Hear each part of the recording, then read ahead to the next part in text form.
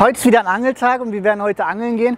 Und zunächst einmal werden wir zeigen, wie das Schlauchboot mit Motor und dem ganzen Zubehör hier in den Kofferraum reingeht.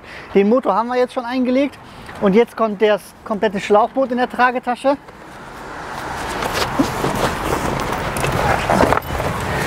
Also hier in der Tragetasche befindet sich halt das komplette Schlauchboot und die Slipreifen, die Paddeln, die Pumpen, alles Mögliche. Das können wir dann hier so seitlich drehen und dann ist es komplett im, im, im, Auto drin. Also wie man sieht, hat man noch genügend Platz, aber das machen wir noch mit dem ganzen zusätzlichen Equipment dann voll. Das ist dann Tragetasche, Untersitztasche. So, jetzt kommt der ganze Rest da rein.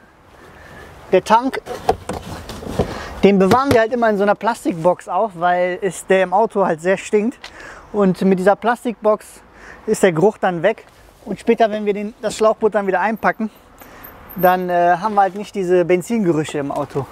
Das funktioniert wirklich wunderbar. Das ist einfach nur eine Box aus Ikea. Dann äh, meine Jacke,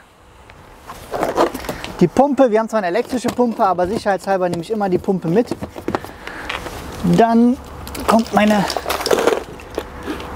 meine Tasche mit meinem ganzen Ray Blaser Zubehör können wir dann hier hinpacken.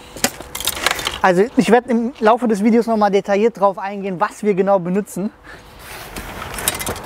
Und dann können wir das einzelne Zubehör noch mal absprechen. Das ist noch mal der Sitz.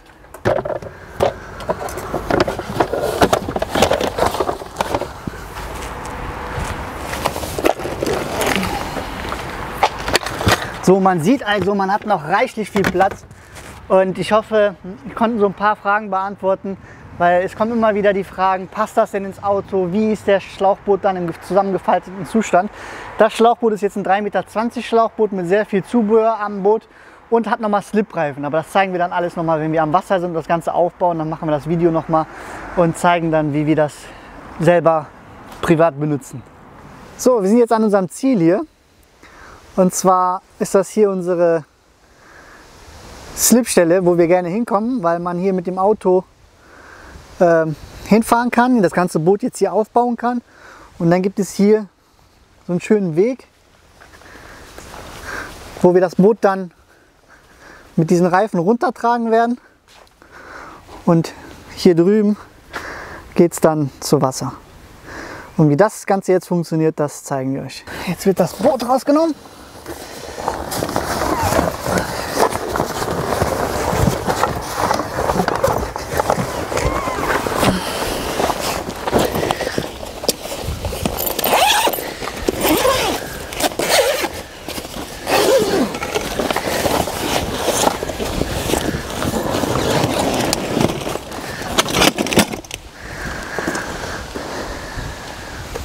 Ja, also wie man sehen kann, ist das beim Nexus besonders vorteilhaft. Wir haben das Boot jetzt aus der Tragetasche getan, haben das ausgerollt und jetzt können wir sofort aufpumpen. Das heißt, es gibt keinen Einlegeboden, den man reinlegen muss. Das, der Boden ist eingebaut in dem Schlauchboot.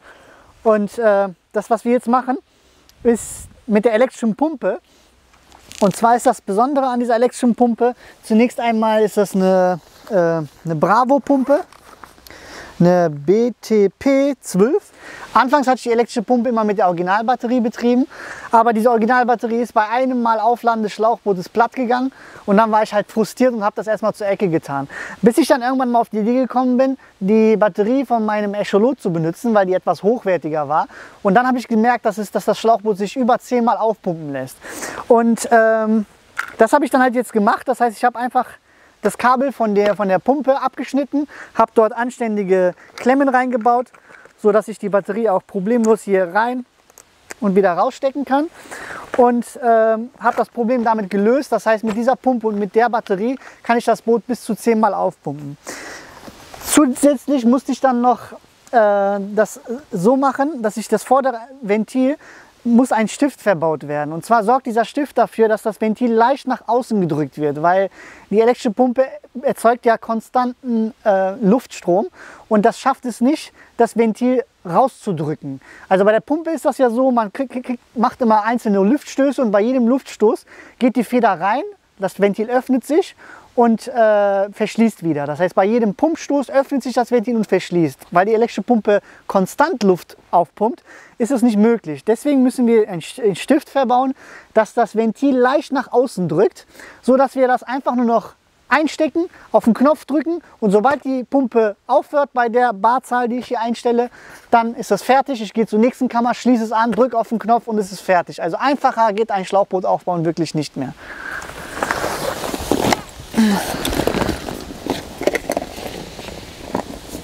So, ich schließe das an. Habe jetzt hier 0,25 Bar eingestellt. Drücke auf den Knopf. Jetzt fängt das fängt die Pumpe erstmal an, normal Luft zu pumpen und wenn es dann irgendwann nicht mehr geht, dann fängt er an zu kompressieren. Das heißt, er macht einzelne Luftstöße, damit er diese 0,25 Bar äh, Luftdruck auch erreicht, was das Schlauchboot halt braucht. Das heißt, ich habe jetzt die Pumpe angeschlossen, kann mich jetzt auf mein restliches Zubehör konzentrieren und das Schlauchboot werde ich jetzt hier komplett aufbauen.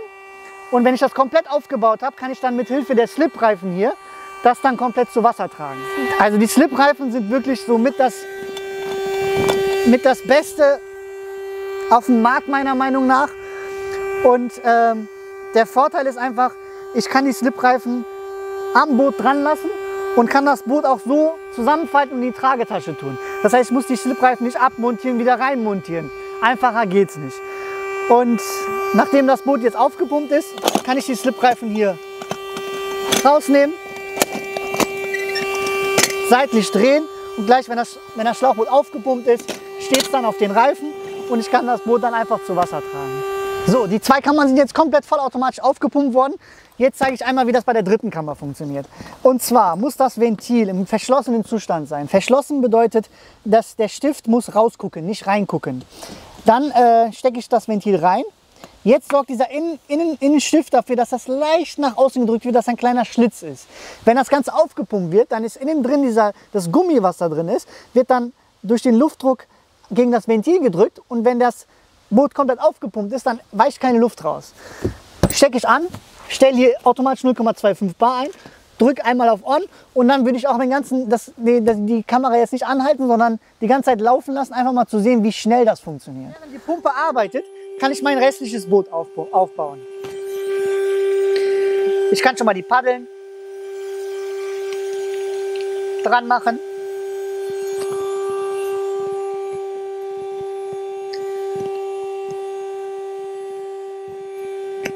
So, dann gehe ich hin und mache meinen äh, Sitz dran. So, kommen wir zum, zum Sitz. Generell ein großes Problem. Also der, der Akku hat jetzt angefangen, ähm, nachdem das aufgepumpt wurde, jetzt den Hochdruck zu erzeugen, also diese 0,25 Bar zu erzeugen. Und sobald die 0,25 Bar erreicht sind, äh, hört die Pumpe automatisch auf. Das werden wir jetzt gleich sehen. Und äh, dann das Einzige, was jetzt noch dann noch machen muss, ist das Ventil abzustecken. Und danach, weil es ein bisschen laut im Hintergrund ist, erkläre ich, erzähle ich noch ein paar Worte zu dem, zu dem Sitz, den ich hier benutze.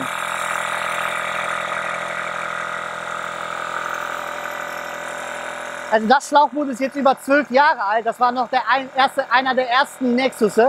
Nexus 320. Seitdem hat sich enorm viel getan bei dem Schlauchboot. Das ist so die Urversion überhaupt. Und ähm, es funktioniert noch und deswegen äh, habe ich auch keinen Bedarf, das zu wechseln. Warum sollte ich es wechseln? So, Pumpe ist fertig. Das, das, das Schlauchboot ist exakt auf 0,25 Bar aufgepumpt. Das Einzige, was ich jetzt noch machen muss, Ventil abstecken, Ventildeckel drauf und fertig. So, jetzt kommen wir zu dem Sitz. Also den Sitz selber so verkaufen wir nicht. Wie, ich das, wie habe ich das gelöst mit dieser Lehne? Es ist nicht perfekt, ich kann mich nicht wunderbar dran lehnen. Das geht nicht wunderbar, aber es ist einigermaßen okay. Das heißt, es ist relativ noch gut. Ich freue mich jedes Mal über diesen Sitz, weil wenn ich acht bis zehn Stunden angle, dann äh, äh, merkt man das schon, dass am Rücken, dass das dann wehtut.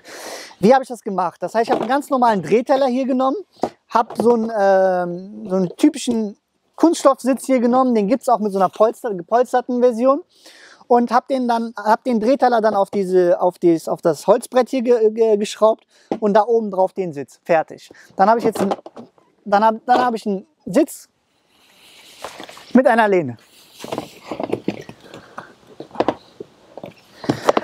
So, weil der Pin, Steuerpin links ist, muss ich den Sitz auch rechts machen.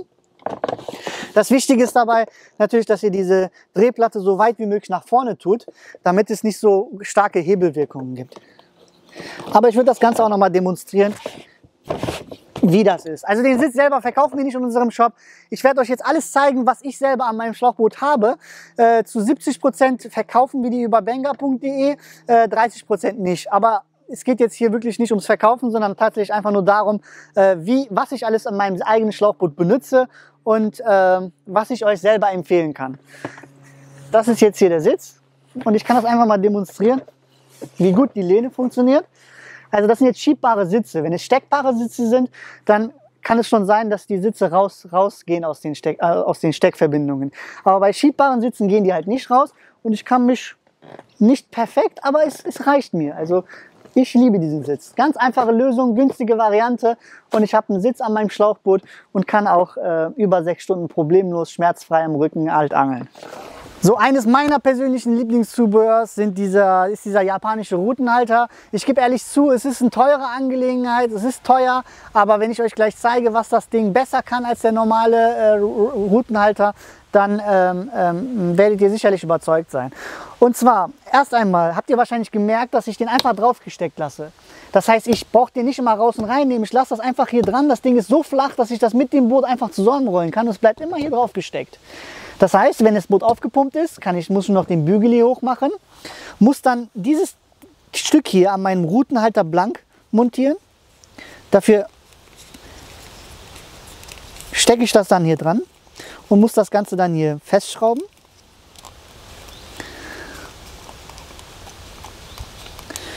Mit dabei ist immer dieser Kunststoffschlüssel hier, damit man es gegen Ende hin richtig schön festmachen kann. Das heißt, jetzt benutze ich den Kunststoffschlüssel und ziehe das dann fest. So, jetzt ist es fest. Und jetzt kann ich das machen, was ich mit keinem anderen Routenhalter machen kann. Ich kann ihn reinstecken und kann ihn genauso einfach wieder lösen. Das ist sehr vorteilhaft, wenn ich schleppe beispielsweise. Das heißt, ich lasse die Route hier, habe genau die Spitze immer in Betracht. Das heißt, ich würde den ich habe die Spitze immer im, im, Augenwinkel und sobald der Fisch anbeißt, kann ich die Route sofort nehmen und habe hab hab die Route dann in der Hand und kann den Fisch besser kontrollieren. Das ist mein persönliches Lieblingszubehör. Ein paar Worte zu der elektrischen Pumpe. Jetzt pumpen wir den Boden auf. Ähm, und zwar fragen sich bestimmt einige, wo bekomme ich das und so weiter und so fort. Wir sind derzeit dabei, eine Komplettlösung anzubieten. Das bedeutet mit dem richtig guten Akku, mit der Pumpe, mit der Originalpumpe, die ich jetzt benutze und mit einem Ventiladapter. Mit dem Stift schon eingebaut. Da jedes Ventil bei jedem Schlauchboothersteller unterschiedliche Tiefen hat, muss man, kann man leider nicht einmal den Stift versetzen und dann universell für jedes Ventil benutzbar machen. Deswegen müsst ihr schauen, dass ihr diesen Stift an dem Ventiladapter selber da positioniert, wo ihr es, wo ihr es habt. Wenn ihr da keinen Bock drauf habt, müsst ihr beim Ende des äh, Aufpumpvorgangs, müsst ihr das dann schnell das Ventil wieder zumachen. Geht auch, aber wer es richtig gut haben möchte, der sollte in den Ventiladapter diesen Metallstift reinsetzen und dann ist das Problem für die Zukunft gelöst. Diese Ventiladapter verkaufen wir selber auch in unserem Shop mit dem Stift, aber werden dann halt in der Zukunft auch ein Paketangebot anbieten, wo alles dabei ist. Das heißt, da ist die Batterie dabei, die Pumpe dabei, der, der richtige passende Ventil in verschiedenen Tiefen oder ihr benutzt euren eigenes, äh, euer Originalventil von dem Schlauchboot und müsst dann nur noch diesen Metallstift da reinsetzen, dass das Ventil leicht aufgedrückt wird. Und dann habt ihr das gleiche, wie wir es hier haben. Also besser geht wirklich nicht. Ne? Das Schlauchbootaufbau ist immer ein leidiges Thema und mit, ich sag mal, kostet natürlich wieder, ne, weil der Akku besonders teuer ist, aber einmal investiert und man muss das Boot nie wieder sorgfältig aufpumpen. Jetzt packe ich mein ganzes Zeug da rein. Das heißt, erst einmal der Tank, dann mein ganzes Zubehör. Was ich dabei habe, ist der Rodholder 2 von Ray Blaser. Den stecke ich mal hier rein. Dann habe ich die Lonaco Positionslampe. Das heißt, wenn wir später, wenn es dunkel wird, wollen wir auch auf Zander angeln. Und damit wir dann auch äh, keine Probleme haben, müssen wir eine Beleuchtung haben. Und mit dieser Beleuchtung dürfen wir nachts angeln. Das heißt, wir müssen die Pos Positionslampe dann anschalten. Es müssen diese drei Farben, Rot, Grün und Weiß sein. Und dann äh, dürfen wir dann nachts auch auf, auf, auf Zander gehen. Das lege ich hier zur Seite.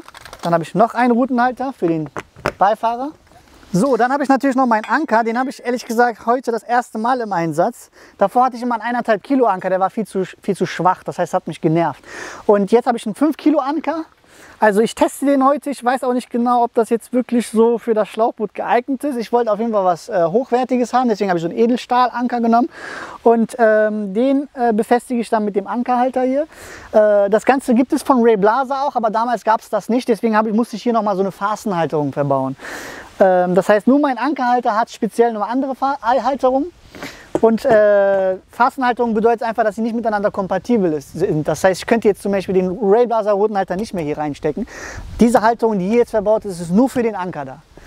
Aber wie gesagt, in shopbanger.de haben wir das Ganze umgebaut und da gibt es auch genau den gleichen Ankerhalter für das Ray Blaser System. Das heißt, der Vorteil bei euch ist jetzt, ihr könnt euch bei einem System bleiben und müsst jetzt nicht extra nochmal eine Halterung von einem anderen System kaufen, damit ihr den Anker mit benutzen könnt. So, Ankerhalter, kommen wir mal zu dem Thema hier. Ähm, ne, also das Zubehör hat mich so sehr fasziniert, dass ich sogar bereit war, ein, ein anderes System auf meinem Bootraum zu montieren. Ähm, ähm, warum es so geil ist, erkläre ich euch. Und zwar, das Schöne daran ist, man ähm, muss keinen Knoten mehr binden. Das hat, war immer ein lästiges Thema, insbesondere man hat den Anker reingeworfen und dann hat man Knoten gebindet und auf einmal hat sich das Boot ein bisschen bewegt und auf einmal war das Seil wieder schlaff. In diesem Fall musste man dann wieder den Knoten lösen, wieder einen neuen Knoten binden, lästiges Thema. Bei dem ist das folgendermaßen, wenn ich den Anker jetzt loslasse, muss ich hier an diesem Schalter hier betätigen und dann, zack, geht der Anker zu Wasser. Wenn der Anker jetzt bei, zu Wasser gegangen ist und das, das, Seil ist irgendwie schlaff geworden, dann ziehe ich einfach da dran und es wird immer fest. Das heißt, dieses Seil bewegt sich nur in diese Richtung des Bootinneren, in die andere Richtung nicht. Das Schöne ist auch noch, wenn ich den Anker jetzt wieder zum Boot holen muss, dann muss ich diesen Anker nicht irgendwie mit Wasser und dann hat sich das ganze Boot versifft, sondern lass den Anker einfach an der Seite hier liegen und ziehe einfach nur noch an dem Seil so lange, so lange, bis das Ding hier an der Seite wieder hier so pendelt. Und wenn ich den wieder benutzen möchte, dann mache ich einfach, drücke ich auf diese Taste hier und zack, ist der Anker wieder unten. Ah, eine super geile Erfindung, kann ich wirklich nur jedem empfehlen. Das erleichtert das Ganze und alles, was das Leben erleichtert, benutzt man dann auch viel lieber. So, das ist zum Thema Anker. Der sitzt jetzt auch hier. So, jetzt kommen wir zur Handyhalterung. Und zwar, früher hatte ich den äh, Ray Blaser äh, den Handyhalter. Ja, das war so ein Teil hier. Und es ist relativ universell, auch eine schöne, schicke Sache, sage ich mal. Aber was mich hier auch ein bisschen gestört hat, ehrlich gesagt, war immer, dass ich diese Klammern auseinandernehmen muss und dann dieses Gummi drum machen muss. So, das war früher die Lösung.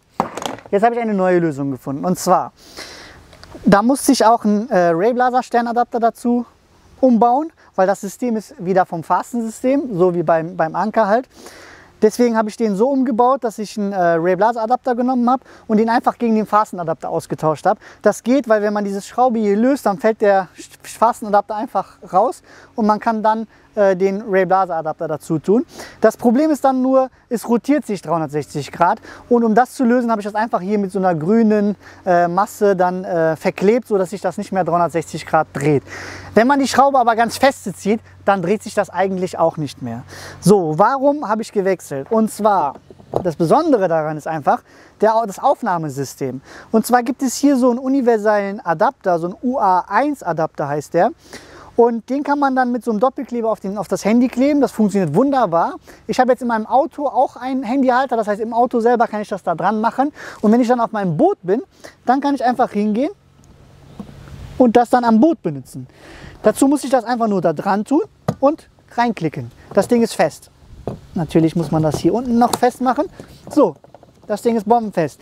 Wenn ich das jetzt lösen möchte, dann muss ich an diesem Hebel hier drücken und kann das lösen. Also nochmal. Ich klammer das hier fest. Klack. Handy ist fest. Löse es. Lösen. Also ihr seht, das Problem mit dem Gummi und das Gummi stört dann am Display und so ist damit behoben. Ähm, es ist einfacher reinzustecken. Ich kann das Ganze mit einer Hand reinstecken, indem ich das einfach nur rein tue. Klack und das Ding ist fertig. Was kann man mit dem Artikel noch machen? Natürlich kann man das Ganze kippen und man kann das Handy dann in so einzelnen Klack, Klack, Klack, Klack Schritten dann drehen und dann in die gewünschte Position bringen. Ähm, den Artikel gibt es leider nicht in unserem Shop, aber ähm, den könntet ihr theoretisch auch problemlos selber umbauen. Äh, wir überlegen in der Zukunft, sind noch nicht am Plan, also wir haben noch nichts tatsächlich äh, umgesetzt, aber äh, wollen natürlich in der Zukunft auch so ein System für das Ray Blazer System anbieten, so dass ihr dann auch eine Komplettlösung habt und nicht irgendwas umbauen müsst oder so. Das machen wir für euch und dann habt ihr ein fertiges System für das Ray Blazer System und könnt dann auch euer x-beliebiges Handy oder iPad oder egal was es ist, dann dran klemmen und dann äh, problemlos genauso benutzen, wie ich es jetzt hier selber benutze. So, kommen wir zu unserer Echolot-Halterung. Das ist die Echolot-Halterung und ähm, wieder ein leidiges Thema Akku. Auch hier benutze ich diesen hochwertigen Akku. Der, ähm, das Besondere an dem Akku ist einfach, der ist in einer wasserdichten Case drin. Das ist so eine amerikanische Case aus den USA. Und ähm, dann ist noch das Besondere, dass ich hier so einen Batteriestatus habe. Ich kann immer sehen, ob, der, ob die Batterie aufgeladen ist oder nicht aufgeladen ist. Und äh, das, was ich am besten finde, ist eigentlich dieser Anschluss hier. Früher hatte ich immer so einen Klemmanschluss und dann ging manchmal das Plus ab, das Minus ab, hat mich total genervt. Äh, in diesem Akku hier ist auch so ein zusätzlicher Anschluss dabei damit man sein eigenes Kabel dann äh, mit diesem Anschluss versehen kann. Dafür muss man löten. Aber einmal gemacht ist wirklich das Leben deutlich erleichtert. Das heißt, ich kann diese Case jetzt hier äh, einfach mit Plug and Play ne, reinstecken, fertig und das, das Echolot ist dann mit Strom versorgt. Dann gibt es noch mal hier so einen Karabiner und dann kann ich dann irgendwo hinhaken, wo ich möchte. Und äh, das Beste an diesem Akku ist eigentlich ta tatsächlich diese Akkulaufleistung von, dem von, dem, von der Batterie. Also ich kann das Echolot problemlos über 10 Stunden damit betreiben. Ähm, das muss es mindestens haben. Ich habe noch, hab noch nie geschafft, diesen Akku hier irgendwann leer zu bekommen. Total geiles Ding. Kostet ein bisschen etwas natürlich, aber das Schlimmste ist es, wenn mitten im Angeltour auf einmal die Batterie leer geht und man kein Echolot mehr hat. So, unser ältestes Zubehör, glaube ich, aber mit auch eines der Lieblingszubehör von mir, ist diese Echolot-Halterung. Die benutze ich eigentlich immer. Und zwar, auch wenn ich das Echolot selber nicht benutze, benutze ich kann man das hier reinschieben und dann kann man das in der Position verstellen. Hier sind zwei Routenhalter-Steckplätze. Und ähm, diese Routenhalter-Steckplätze können für eine Route verwendet werden, aber normalen Gebrauch verwendet man die gerne auch für Zange oder für, für Köder. Da kommen zum Beispiel auch hier oben die, ähm, die, ähm, die Würmer, die Wobbler oder was auch immer. Es ist eine super Plattform hier. Hab noch unten drunter so ein Batteriefach, wo ich auch gerne noch Sachen verstaue und oben drüber dann das Echolot. Ähm, eine Geberstange habe ich jetzt leider noch mal noch eine alte, ältere, ältere Methode. Äh, da gibt es auch bessere Varianten von Ray Blaser wo man die dann an, an, an, an Heckspiegel dran befestigen kann. Ich habe, wie gesagt, eine ganz standardmäßige, die gibt es auch in unserem Shop so nicht zu kaufen, aber die sind sehr weit verbreitet, diese Systeme. Das ist einfach nur so ein Klemm, Klemmanschluss, den mache ich dann hier an die Seite dran und ähm, kann den Geber dann hier so raus und rein. Indem ich dann hier dran befestigt drehe, kann ich, den das, kann ich den dann raus und rein tun. So, das Einzige, was ich jetzt noch machen muss, ist hier das Kabel anschließen. So, was habe ich noch alles dabei? Dann schauen wir mal. Ähm, Sonnencreme, sehr wichtig. Ähm, Zange. Und was meiner Meinung nach auch super geil ist. Und zwar fischen wir natürlich auch sehr gerne ähm, Wobbler so um die 10 Euro halt. Und dann ist es ärgerlich, wenn so ein Wobbler mal unten drunter hängen bleibt. Und das haben wir auch nicht in unserem Shop, aber kann ich auch wärmstens empfehlen. Das ist so ein äh, Wobblerlöser. Und zwar wird der hier an die Schnur gehangen und kann dann entlang der Schnur dann runtergelassen werden. Und diese Kettenglieder hier haken sich dann im Drilling vom Wobbler ran fest und dann zieht man fester dran und hat den Wobbler dann damit gerettet. Selbst wenn der Drilling kaputt gehen sollte, hat man zumindest seinen hochwertigen Wobbler gerettet.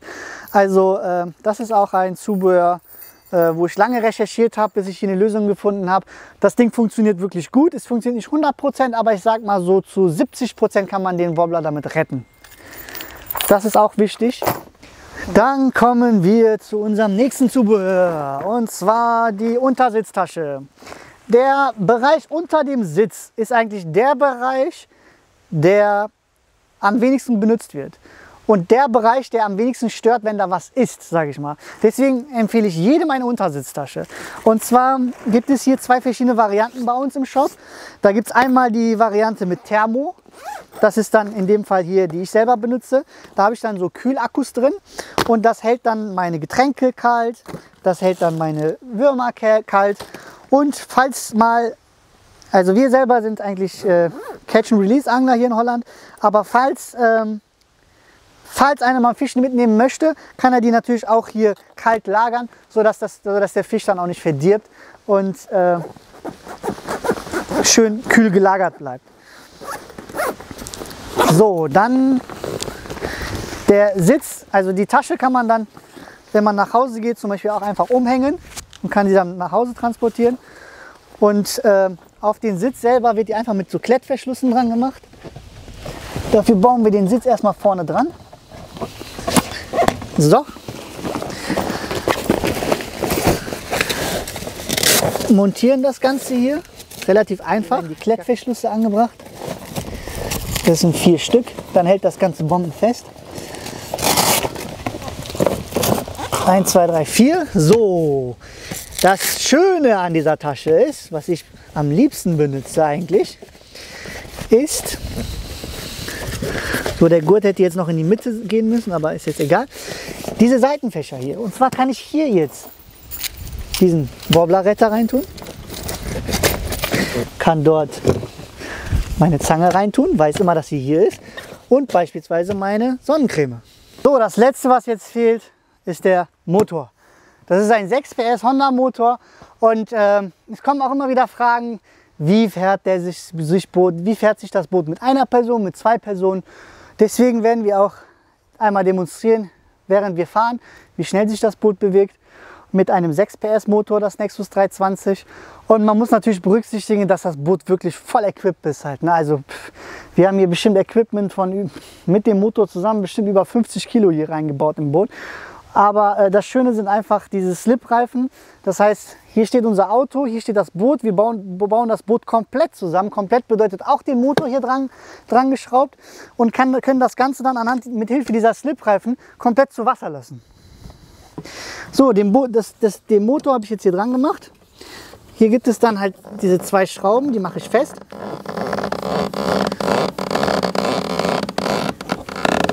Am Heckspiegel. So. Eine Seite, zweite Seite. Das, was ich jetzt noch machen muss, ist den Benzintank, also den Schlauch vom Benzintank noch am Motor anschließen. Und dann geht's zu Wasser. So, jetzt wird der Tank hier an diesen Anschluss angeschlossen.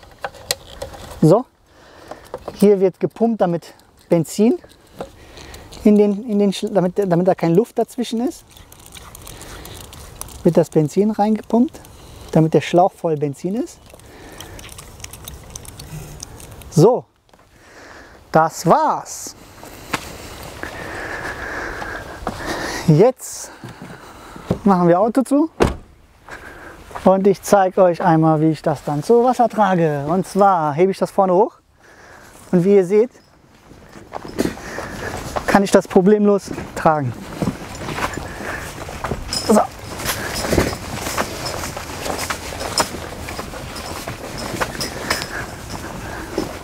So. Das ist wirklich sehr angenehm. Das Einzige, was ich noch achten muss, ist, dass die Angeln nicht an den Ästen stehen bleiben. Aber so, ich habe das Boot jetzt komplett alleine zu Wasser getragen und muss. Okay, das Schöne an diesen Slipreifen. Ich finde das immer so traurig, weil wir die, weil die Leute, die das jetzt im Video sehen, ähm, wollen das natürlich bestimmt auch haben halt. Ne? Und das sind wir wirklich, wir sind stark daran an, an, am Arbeiten dran, dass wir diese Slipreifen wieder liefern können. Ähm, das Schöne an den Slipreifen ist, dass wenn ich jetzt das Boot zu Wasser gelassen habe, verliert der Reifen ja so gesehen an, an, äh, an Bodenhaftung. Und sobald der Reifen an Bodenhaftung verliert, rastet der automatisch raus, so dass ich den Reifen dann einfach nur noch von innen nach vorne heben kann. Das heißt, ich muss das Boot jetzt nur zu Wasser schieben und wenn, der Heck, wenn, das Heck, wenn das Heckbereich dann im Wasser ist, dann rasten beide Reifen raus und ich kann von inneren Booten einfach nur noch das, die Heckspiegel hochklappen, zur Seite drehen und perfekt. Noch eine Sache zu den Slipreifen. Also das sind jetzt Slipreifen von B&A. Das ist ein guter Freund von mir. Und der ist im Grunde wirklich der Erfinder dieser Reifen. Es gibt so ein paar Hersteller, die auch ähnliche Reifen verkaufen. Aber da gibt es halt viele Unterschiede, Details. Auf dem Bild sehen die zwar gleich aus, aber wenn man genau darauf achtet, dann gibt es da so ein paar Details. Und zwar sind die, äh, die Stifte hier an den, äh, an den Slipreifen sind bei dieser Version geschweißt. Und bei der anderen Version ist einfach nur so, ein, so eine Schraube mitgeliefert wo dann auf, der, auf beiden Seiten bei der Montage dann fest, festgehalten werden muss. Hier sind die Stifte aber in, an, dem, an diesem Edelstahl halt verschweißt und geschliffen. Und ähm, das Ganze hat eine Führungsschiene. Das macht, das, das macht die Slipreifen auch etwas teuer, weil das Ganze muss äh, so gelasert werden, dass das, das muss ein Rohrlaser sein, was dieses Stück auch dreht beim Lasern. Und das macht das Ganze halt teuer. Das heißt, wenn nur eine Seite gelasert werden müsste, ist es problemlos machbar. Aber wenn man das Rohr während des Laserns noch drehen muss, äh, wird es halt komplizierter.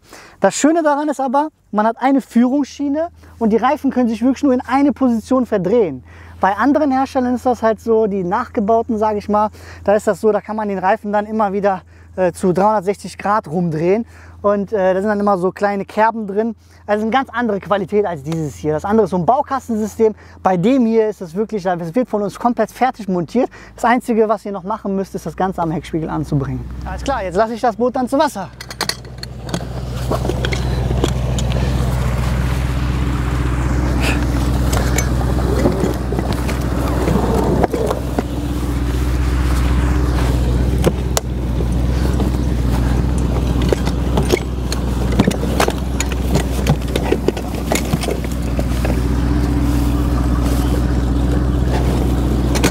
So, jetzt sind hier natürlich sehr viele Steinpackungen.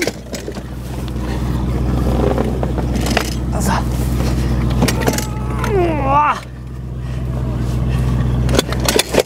Oh.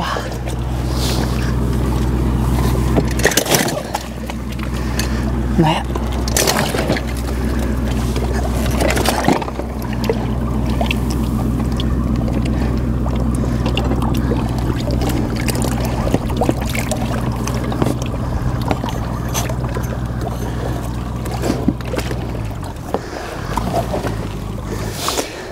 So, dreh das Boot jetzt.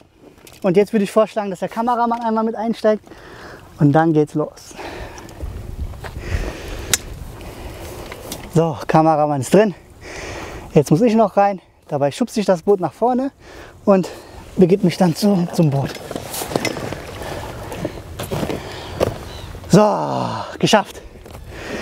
Ich hoffe, ich konnte euch mit eurem, diesem Video einige Fragen beantworten wie ich das selber benutze. Ich habe mir sehr viele Gedanken gemacht, habe den ganzen Markt recherchiert, hat das Beste vom Besten als Lösung für mich gefunden. Und äh, ihr könnt das natürlich alles nachmachen, das was ich jetzt hier euch präsentiert habe. Ich müsste jetzt die Reifen hier nehmen, nach oben klicken, so, und einem Heckspiegel befestigen. Das gleiche auf der anderen Seite. Und fertig. So, jetzt sind wir hier in Remont von hier aus kann man anlegen. Und äh, das ist das Schlauchboot hier von uns. Ja, es war ein schöner Angeltag auf jeden Fall. Jetzt machen wir erstmal Halbzeit. Ähm, der Eiern, der Angelkollege, ist jetzt äh, uns was zu essen holen gegangen. Wir legen jetzt hier an. Und äh, nachdem wir dann hier eine Pause gemacht haben, gegessen haben, geht es weiter. Was ich noch vorhin vergessen habe zu erwähnen, ist halt diese Kamerahalter hier. Und die ist dann äh, mit so einer GoPro bestückt. Das ist die Stange. Und hier vorne an dem Rippod wird es dann festgemacht. Das ist auch halt sinnvoll, insbesondere auch für uns halt, weil wir gleichzeitig die GoPro-Kamera im, im auf, auf, Aufnahmemodus drin haben. Das heißt, wir drücken dann einmal hier auf diesen Knopf dann nimmt die GoPro auf. Und äh, das Schöne ist dann halt, wenn die GoPro dauerhaft aufnimmt, dass wir dann auch ähm, Videos haben, wo, wir, wo der Fisch dann in dem Moment beißt. So, ähm, wie versprochen will ich noch, euch noch ein paar Sachen zeigen auf dem Boot. Und zwar zunächst einmal, wie der Anker richtig tatsächlich auch funktioniert auf dem Wasser.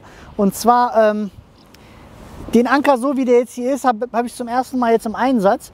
Und äh, zwar leider ein Fehlkauf. Also die Gewichtsangaben von 5 Kilo ist für das Boot wirklich optimal. Aber der Hals hier ist einfach zu lang. Und ich bin es halt immer gewöhnt, ich möchte es gerne so haben, dass der Anker einfach hier dran baumelt. Und das funktioniert mit diesem Anker leider nicht. Nichtsdestotrotz will ich einmal demonstrieren, wie das funktioniert. Also ähm, stellen wir uns mal vor, der Anker baumelt jetzt hier. Dann betätige ich diesen Hebel hier, lasse den Anker dann zu Wasser. Jetzt ist der unten angekommen und kann das Ganze dann hier nochmal so nachjustieren, bis das perfekt stramm ist. Falls ich das Boot jetzt weiterhin bewegen sollte und diese Schnur äh, wird wieder schlaff, da muss ich einfach nur ein bisschen dran ziehen und dann ist es wieder fest. Ähm, wenn ich wieder losfahren möchte, das heißt wieder nicht, also wenn ich nicht mehr ankern möchte, dann ziehe ich einfach hier immer an dem Seil so lange, bis der Anker dann draußen ist.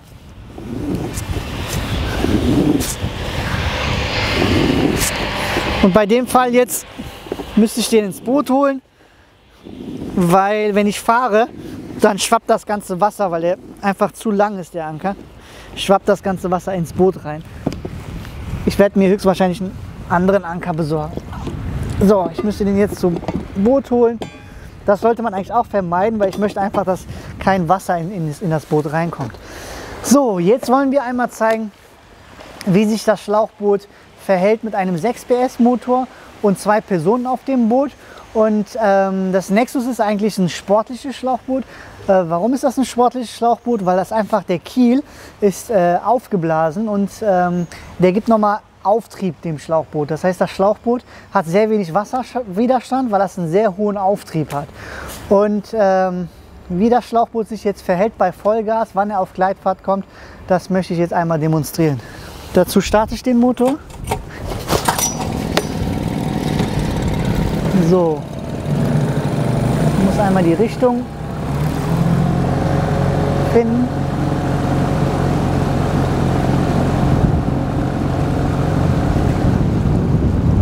So, ich fahre jetzt als auch entgegen die Strömung. Wir sind zwei Personen auf dem Boot und halt voll equipped. Jetzt gebe ich Vollgas. Ähm, der vordere Teil hebt sich jetzt leicht und legt sich dann wieder zu Wasser. Und jetzt im Moment ist der Punkt erreicht, wo wir auf Gleitfahrt sind. Und das ist halt der, die Geschwindigkeit, die mit 6 PS und zwei Personen mit dem Schlauchboot machbar sind. Das ist schon ordentlich, sage ich mal.